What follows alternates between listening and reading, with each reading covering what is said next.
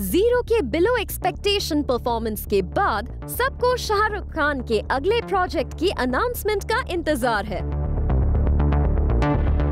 The actor who went missing from the silver screen due to Zero has finally moved on to other projects.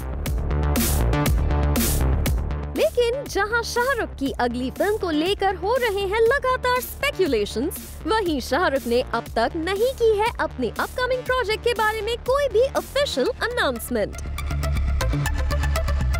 going by the reports सबसे पहले Shahrukh zero के debacle के बाद शुरू करने वाले थे राकेश शर्मा की बायोपिक सारे जहाँ से अच्छा। लेकिन फिर उनके इस प्रोजेक्ट से ऑप्ट आउट हो जाने की रिपोर्ट सामने आने लगी।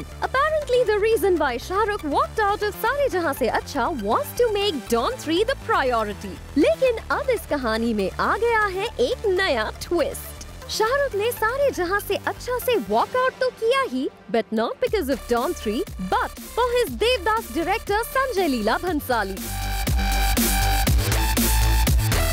लंबे वक्त से हमें ये सुनने में आ रहा था कि संजय लीला भंसाली अपने एम्बिशियस साहिर लुधियानवी बायोपिक के लिए शाहरुख खान को करना चाहते हैं कास्ट और अब सोर्सेस का कहना है कि संजय लीला भंसाली का ये सपना सच होने वाला है as Shahrukh has finally taken up the project But as of now, it's still a speculation. So we hope Shahrukh जल्द से जल्द इस बारे में ऑफिशियल अनाउंसमेंट करते हुए अपने फैंस की इस कंफ्यूजन को कर दे खत्म फनिकिता वधावन जूम मुंबई